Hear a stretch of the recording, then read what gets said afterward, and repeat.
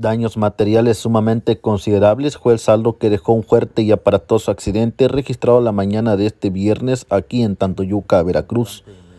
El conductor de un vehículo Centra Nissan se impactó a exceso de velocidad contra un poste de la empresa Telmex, el cual derribó por completo. En el lugar de los hechos arribaron elementos de la Dirección de Tránsito Municipal quienes tomaron conocimiento y aseguraron el vehículo, el cual fue enviado al corralón local de esta ciudad de Tantoyuca, Veracruz. Puedes leer toda esta información más a detalle a través de nuestro sitio web en www.lavoztantoyuca.com. Este.